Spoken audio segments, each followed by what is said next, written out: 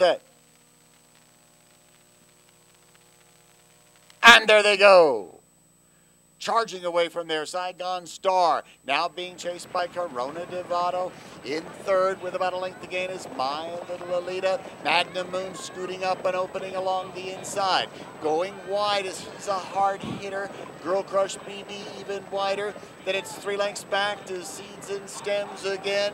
As we hit the stretch, it's Saigon Star running a huge one in the middle of the track, but still with plenty of momentum. Magnum Moon chasing in second, a distant third. Corona Devato now late on the scene. He's a hard hitter, finding his best stride. Saigon Star crying out for the wire. Here comes, he's a hard hitter with a massive burst of late speed. But Saigon Star is going to try to hold that one off. They're in a photo.